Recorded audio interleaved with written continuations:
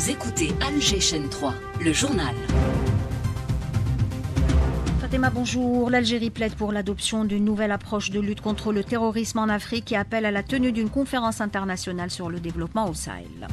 Nouvelle ligne aérienne directe reliant Alger à Addis Abeba. Elle est opérationnelle depuis hier. Un pas historique et une nouvelle étape dans les relations bilatérales entre les deux pays. La présidente éthiopienne a reçu le ministre des Transports, Youssef Sholfa. Rentrée universitaire ce samedi pour près d'un million sept cent mille étudiants. Une rentrée zéro papier dans le cadre de la modernisation et la numérisation de l'université algérienne.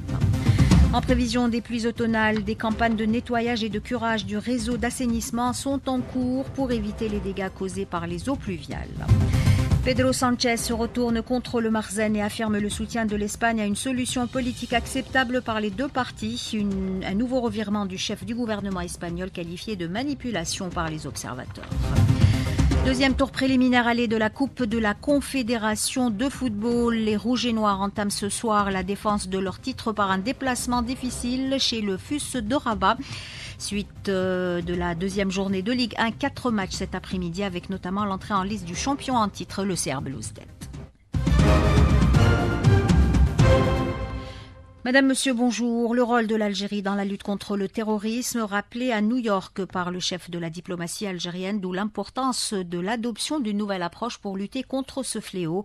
Ahmed Attaf a également affirmé que l'Algérie appelle à la tenue d'une conférence internationale sur le développement au Sahel. Kalima Hasnaoui. L'Algérie est fermement convaincue qu'une approche à deux volets est indispensable pour lutter à la fois contre le terrorisme et aussi contre ses causes profondes dans la région du Sahel et au-delà. C'est ce qu'a affirmé Ahmed Attaf au cours de la réunion ministérielle de l'Union africaine. La menace terroriste a pris des proportions inquiétantes dans la région du Sahel et la sous-région. Les raisons de cette recrudescence peuvent s'expliquer par la pauvreté, l'affaiblissement des institutions publiques, les changements anticonstitutionnels, les conflits qui empêchent ainsi les pays africains d'atteindre les objectifs de développement économique. L'Algérie, qui a subi les affres du terrorisme avant de le vaincre, se retrouve aujourd'hui forte de son expérience, elle plaide pour la tenue d'une conférence internationale sur le développement au Sahel ainsi qu'à la création d'un nouveau modèle d'opération de paix mieux adapté au contexte de lutte contre le terrorisme. Nouvelle ligne aérienne directe reliant Alger à Addis Abeba. Elle est opérationnelle depuis hier. C'est un pas historique et une nouvelle étape dans les relations bilatérales entre les deux pays. La présidente éthiopienne a reçu le ministre des Transports Youssef Sholfa qui revient sur l'importance de cette nouvelle ligne aérienne. Lancement officiel du premier vol aérien entre Alger et la capitale éthiopienne Addis Abeba. Cette importante étape s'inscrit dans le cadre du processus du développement du plan du transport aérien vers Algérie et l'élargissement de son réseau et ce en application des instructions de Monsieur le Président de la République visant à s'ouvrir sur les États africains. Le ministre des Transports, Youssef Sholfa, était au micro de Samar Hamadi d'Ifriqiya FM. Et sachez qu'Addis Abeba est la 46e destination internationale et la 9e africaine du réseau extérieur d'Air Algérie.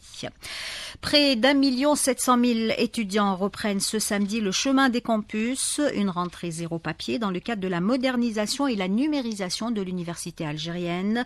Transport, hébergement et restauration, toutes les procédures se feront via le net.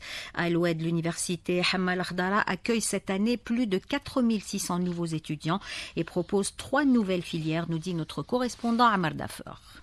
Selon le professeur Omar Farhati, le directeur de l'université Hamal Khdara d'Eloued, la rentrée universitaire de cette année est caractérisée par la création de trois nouvelles filières, à savoir la médecine, les sciences vétérinaires ainsi que la traduction. Trois nouvelles filières dans l'annexe de médecine qui est une première à l'université d'Eloued, ainsi qu'une nouvelle filière sciences vétérinaires et une autre sur la traduction arabe en français-anglais. L'université d'Eloued se prépare aussi pour accueillir plus de 4600 nouveaux étudiants et pas moins de 217 enseignants ont été recrutés au titre de la rentrée universitaire actuelle. Le professeur Omar Farhati. Deuxième spécificité cette année, c'est se voir plus de 4600 étudiants et comme ça, la totalité des étudiants s'élèvera à 27 000 étudiants. Et en plus de ça, on vient de recruter 217 euh, enseignants et le nombre total va augmenter des enseignants à 1000 euh, enseignants. Bien sûr, la rentrée sera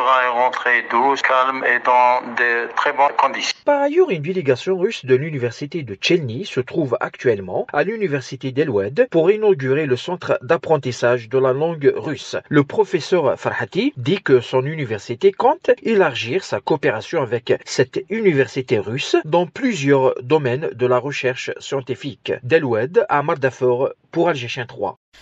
Et en prévision des pluies automnales, des campagnes de nettoyage et de curage des réseaux d'évacuation sont en cours à travers l'ensemble du territoire national pour éviter les dégâts causés par les eaux pluviales. L'Office national d'assainissement a mobilisé tous ses moyens humains et matériels. Salah Lahidir, directeur de l'exploitation et de la maintenance à l'ONA, en parle à Smaïl Mimouni. Ces campagnes concernent toutes les wilayas du pays.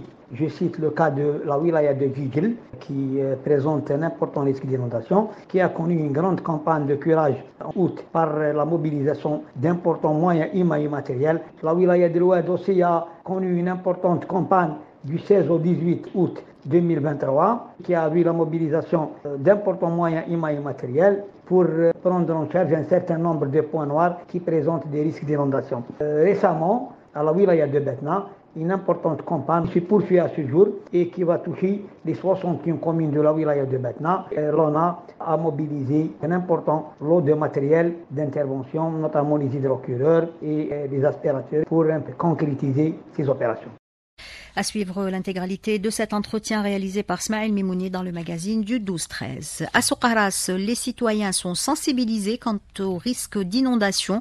Les autorités locales ont pris les devants pour parer à toute éventualité. Sadr Bouraoui. À l'approche de la saison hivernale, les Soukarassiens relancent leur appel vers les services concernés de la municipalité pour qu'ils continuent l'opération de nettoiement tout azimut dans le cadre, bien sûr, de la lutte contre les inondations, tout en rappelant les citoyens de contribuer à cette vaste opération. Je pense que l'État a fourni beaucoup d'efforts en matière de curage des regards afin de faire face les, possibles inondations à surtout on est à la veille de la saison hivernale. Le citoyen reste le cheval de bataille afin de lutter contre ces risques-là. Et la meilleure des façons, c'est de ne pas jeter des ordures n'importe comment et de n'importe quelle façon. Nous pouvons éviter euh, les inondations à Soukara en essayant de sensibiliser les citoyens pour qu'ils puissent euh, éviter de jeter euh, les ordures euh, sur les trottoirs, faudrait-il penser que les services communaux euh, tracent un programme et qui soit appliqué tout au long de l'année? Pour le curage et le nettoiement de ces avaloirs. Sur ce sujet, nous nous sommes rapprochés du président de l'APC de Sougara, chef-lieu, Soukhan Mbark, qui nous rajoute. Nous avons fait un travail de trois phases, avant, pendant et après. On a commencé donc par le curage et le nettoyage des avaloirs, ainsi que les bordures euh, des trottoirs. Aussi, nous avons élaboré un diagnostic. Nous avons euh, pris les points noirs inondables et mettre un dispositif euh, d'effectifs humains et matériels. pour la gestion 3. Les États membres de l'ONU s'engagent à redoubler d'efforts pour assurer une couverture sanitaire universelle d'ici 2030. Une déclaration en ce sens a été adoptée par l'Assemblée générale des Nations unies. L'objectif étant d'assurer les soins de santé à tous et partout dans le monde. Mohamed Nibouche, chercheur en produits pharmaceutiques contacté par ML Lazip. Le cadre d'aujourd'hui qui est en discussion et à déterminer doit permettre la mise en place de stratégies sanitaires nouvelles qui vont permettre de cibler, de renforcer les capacités de l'OMS à aider les États membres pour garantir l'accès à des produits, alors pas les moindres, c'est des produits de santé qui doivent être sûrs. Quand on dit produits de santé, on parle bien de médicaments et euh, bien sûr de produits consommables, etc. Ils doivent être sûrs de qualité, et aussi ils permettent une couverture sanitaire universelle. Ça veut dire qu'on a les moyens d'avoir les volumes nécessaires pour pouvoir faire une distribution à travers la planète. L'ambassadeur sahraoui représentant du Front Polisario auprès de l'ONU et coordonnateur avec la MINURSO, Sidi Mohamed Ammar, s'est félicité du contenu de l'allocution du président de la République devant la 78e session ordinaire de l'Assemblée générale de l'ONU. Elle constitue, euh, l'allocution a constitué selon lui un diagnostic global de la situation internationale actuelle et des défis auxquels fait face le monde. Le chef du gouvernement espagnol est revenu sur son appui au pseudo-plan d'autonomie proposé par l'occupant marocain concernant le Sahara occidental. Pedro Sanchez a affirmé depuis la tribune des Nations Unies le soutien de son pays à une solution politique acceptable par les deux parties dans le cadre de la charte de l'ONU et des décisions du Conseil de sécurité.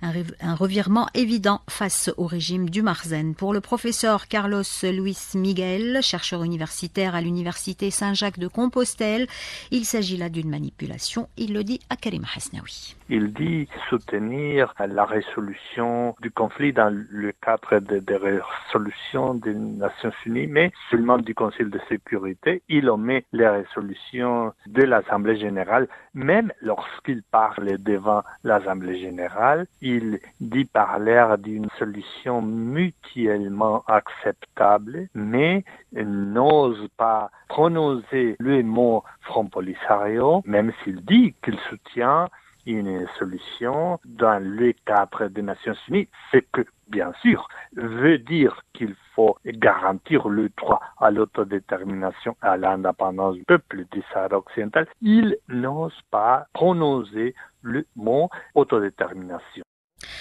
Sport euh, football, deuxième tour préliminaire aller de la Coupe de la Confédération. Les Rouges et Noirs entament ce soir la défense de leur titre par un déplacement difficile chez le FUS de Rabat. Coup d'envoi de la rencontre 20h30. Et rappelons que le match retour aura lieu le 1er octobre prochain au stade Miloud Hetfi d'Oran.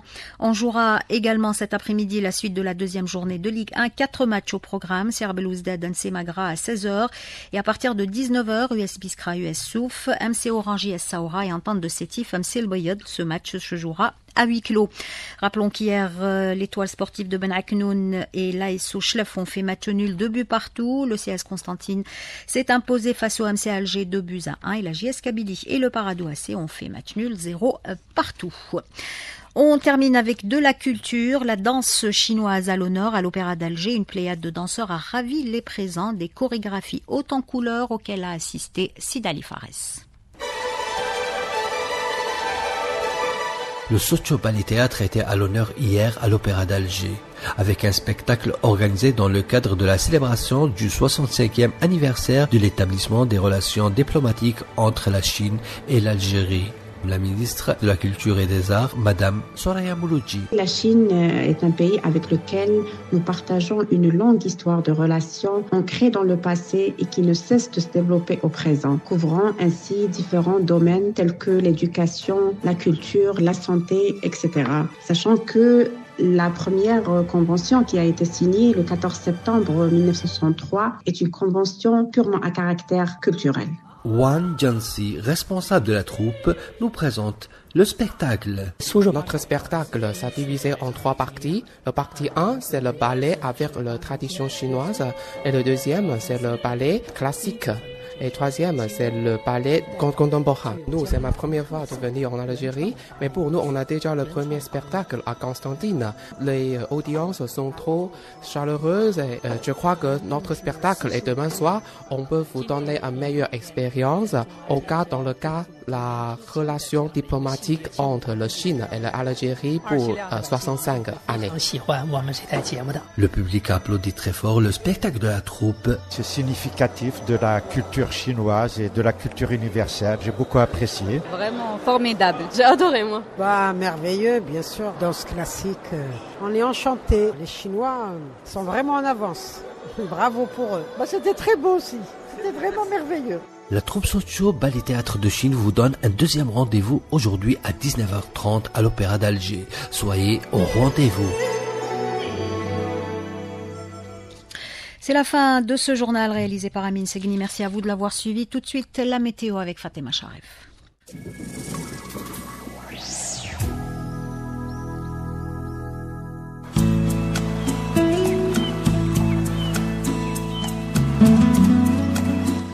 Bonjour à tous, heureuse de vous retrouver pour ce nouveau bulletin météo. On aura du plein soleil ou presque aujourd'hui puisqu'on notera cette matinée quelques passages nuageux tout le long de la côte méditerranéenne.